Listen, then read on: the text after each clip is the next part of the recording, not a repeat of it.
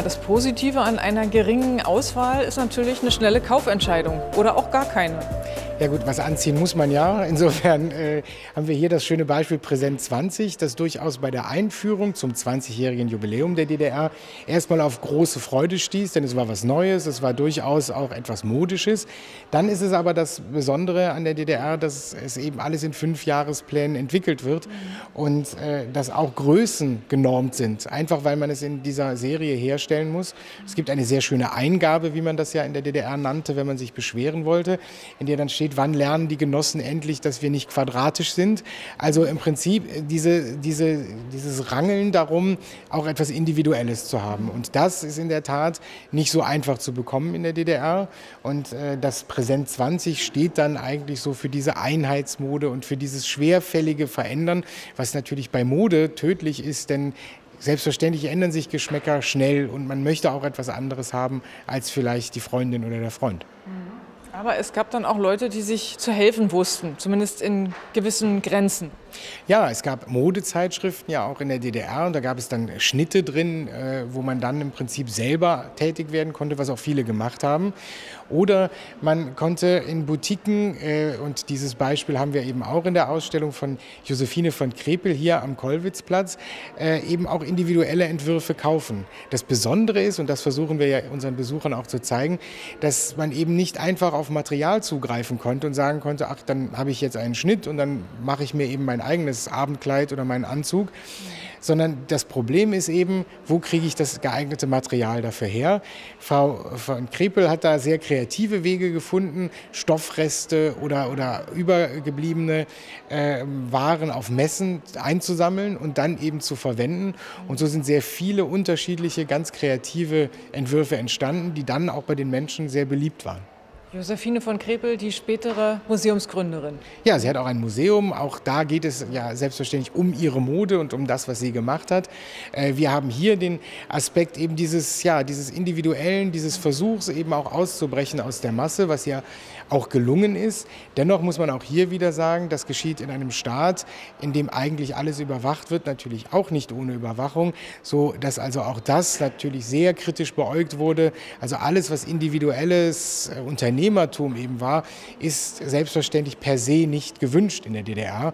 Trotzdem gibt es Beispiele dafür, umso interessanter sich die hier anzuschauen.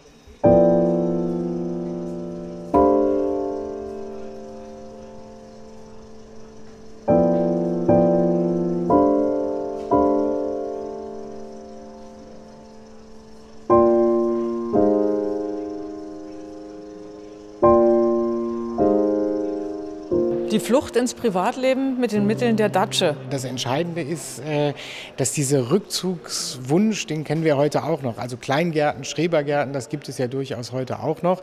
Warum wir es hier in der Ausstellung haben, ist eigentlich auch wieder der Hinweis darauf, dass man versucht hat, diesem Kontrollzwang der SED zu entkommen. Und dann sagt man natürlich, klar, Urlaub ist ein, eine wichtige Möglichkeit. Viele konnten nicht verreisen, aus den schon genannten Gründen oder weil man es eben auch sich nicht leisten konnte. Und deswegen bekommt diese Datsche, dieser Rückzugsort entsprechend natürlich eine größere Bedeutung. Und ähm, dennoch muss man auch hier sagen, die, die, einerseits ist es die schöne Zeit, die man hier erlebt. Es ist auch hier, man feiert Geburtstage, gerade im Sommer. Jetzt ist auch Sommer, man geht grillen. Also das sind natürlich all diese Dinge, die man auch heute macht. Aber auch hier ist immer die Frage, in, in welchem System funktioniert das und wo gibt es dann schon wieder Einschränkungen oder wo gibt es eben auch Besonderheiten. Ähm, äh, viele erinnern aber natürlich einfach auch schöne Zeiten in äh, ihrem Ferienhaus oder in ihrer Datsche, in ihrem Kleingarten und das ist etwas, was man als Thema selbstverständlich hier auch zeigen möchte.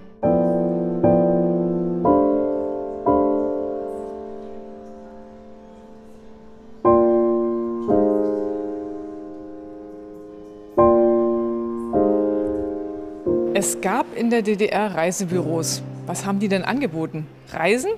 Ja, selbstverständlich haben die Reisen angeboten. Äh, auch hier ist das Angebot überschaubarer gewesen natürlich. Äh, und es ging vor allem in das äh, sozialistische Ausland und eben nicht äh, in, die, in den nicht sozialistischen Wirtschaftssektor. Also alles, was im Westen war, das war äh, eben, wenn nur mit besonderer Erlaubnis möglich und wurde dann natürlich auch Reisekadern genehmigt. Das wurde nicht übers Reisebüro gemacht. Aber das Thema Reisen ist für den Alltag auch ein ganz wichtiges Thema. Das Thema Urlaub, das Thema Rückzug. Rückzug und wie verbringt man diese Zeit. Und wir stehen hier also an einem Trabant mit Dachzelt und äh, das ist also eine Möglichkeit, campen zu gehen oder Camping zu machen. Ähm, das hat es nicht sehr oft gegeben in der DDR, aber es gab es nämlich auf Grundlage eines ja, erfinderischen äh, Kopfes, der sich dieses Dachzelt überlegt Privatmenschen. hat. Privatmensch, ähnlich wie bei dem Thema zur Mode. Gibt es also auch hier jemanden, der ja, etwas gedeckt hat, was die SED mit ihrer Planwirtschaft nicht decken konnte und dementsprechend man es ihm erlaubt hat. Und er hat eine bescheidene Produktion, die aber immerhin 20 Mitarbeiter am Ende umfasste, äh, in Gang gebracht, um eben diese Dachzelte herzustellen. Und einige sind damit dann auch eben in Urlaub gefahren. In der DDR natürlich meistens wahrscheinlich. Dann. In der DDR oder ins benachbarte Ausland, sofern das möglich war. Also es war ja auch da nicht einfach so möglich, dass man gesagt hat, man fährt jetzt mal los äh, bis nach äh, Polen oder weiter, sondern auch das war natürlich äh, ähm, erstmal mit Anträgen verbunden. Aber tatsächlich, wir haben auch Ungarn natürlich als Beispiel, wo dann viele hingefahren sind und äh, dementsprechend ist Camping äh, auch hier ein Thema. Auch hier gilt es aber eben um diese Umstände. Also natürlich fragen wir hier, warum konnte man nicht in andere Länder reisen? Äh, was bedeutete das und welche Sehnsüchte verbinden sich eigentlich mit diesem Thema?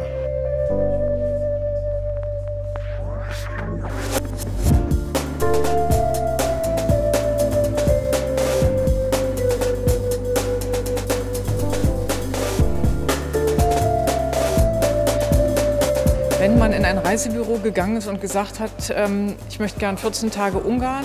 Ja, also erstmal muss man es natürlich nicht mit dem Reisebüro von heute vergleichen. Also es ist natürlich auch hier ein ganz begrenztes Kontingent. Es ist nicht unendlich viel möglich äh, in, in diesem Reisebüro zu buchen. Dann hat es was mit Geld zu tun natürlich und es hat was damit zu tun, ob sie es überhaupt dürfen. Denn es ist nicht selbstverständlich, dass jeder in ein Flugzeug steigt und dann nach Ungarn fährt. Auch das hängt von äh, Genehmigungen ab, auch das hängt von Bedingungen ab und die müssen alle erfüllt sein, sodass man also nicht wie heute jetzt einfach last minute sagt, ich, stell, ich setze mich mal ins Flugzeug und guck mal, wo die Reise hingeht.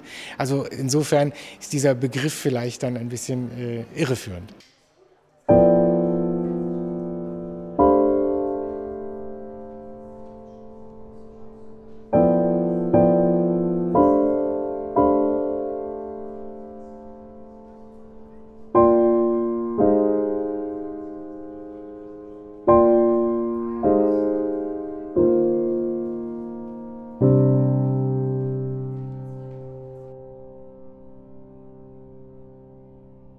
Wir sehen aber ja auch, dass die Unzufriedenheit der Menschen in der DDR am Ende der 80er Jahre so groß ist. Und deswegen gehen sie auf die Straße und, und fordern in der friedlichen Revolution eben nicht nur, dass die Mauer fällt, sondern eben auch die Reisefreiheit und überhaupt die Freiheit, sich bewegen zu können, wie man selber möchte. Das ist sicherlich auch äh, ein ganz klarer Ausdruck, dass das nicht gereicht hat.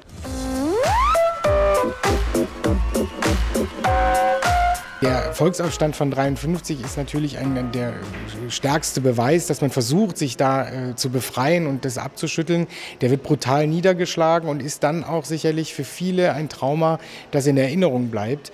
Ähm, über die Jahre nimmt das aber auch tatsächlich immer mehr ab, dass diese politische Einflussnahme auf den Einzelnen so stark ist. So erklärt sich auch, warum äh, Witze in der DDR auf einmal immer deutlicher auch die SED-Parteiführung kritisieren oder sogar äh, Erich Honecker aufs Korn nehmen. Etwas, was in den 50er Jahren sicherlich nicht denkbar war, ist in den 80er Jahren möglich.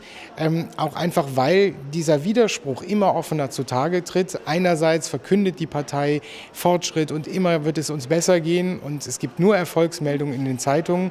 Und dann sehen die Menschen, wie ihr Alltag aussieht. Und dieser Widerspruch, der ist am Ende eigentlich nicht mehr zu überbrücken, weder durch Auszeichnungen noch durch neue Parolen noch durch irgendetwas anderes. Und gerade die jungen Menschen, die sich sagen, na, wie soll es denn hier weitergehen? Ich habe keine Perspektive, die gehen auch so ein bisschen sicherlich mit dem Mut der Verzweiflung auf die Straßen. was können wir lernen?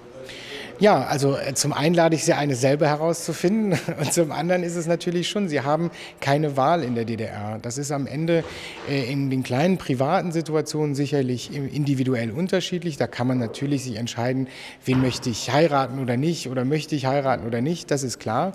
Aber der, die Partei gibt einen Rahmen vor, aus dem Sie nicht ausbrechen können. Und wenn Sie ausbrechen, müssen Sie mit Konsequenzen rechnen. Und sich darüber Gedanken zu machen, was das für unsere heutige Zeit bedeutet, was das vielleicht für Unterschiede gibt oder wofür es sich vielleicht auch einzutreten lohnt, wenn wir darüber reden, dass man auch ein Wahlrecht hat, eine Regierung zu ändern oder eine Partei zu wählen, dann ist das sicherlich etwas, wo wir hier anregen möchten und wo wir auch Geschichte lebendig werden lassen möchten. Wer sind denn eigentlich so Ihre Besucher?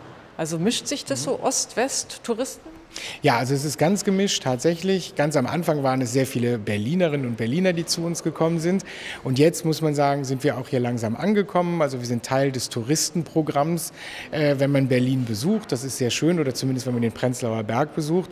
Und die Diskussionen, ob aus Ost oder West, aus Nord oder Süd, die äh, finden sich zum Teil auch sehr in unserem Gästebuch. Also da wird auch zum Teil heftig noch gestritten, äh, ob der Alltag nun so war oder ob die Aussage, die wir hier treffen, so richtig ist oder ob man es anders darstellen müsste. Also es ist nach wie vor, auch 25 Jahre nach der Wiedervereinigung, ein sehr lebendiges und ein sehr wichtiges Thema, das uns die Möglichkeit gibt, über Geschichte eigentlich auch etwas über die Gegenwart zu lernen.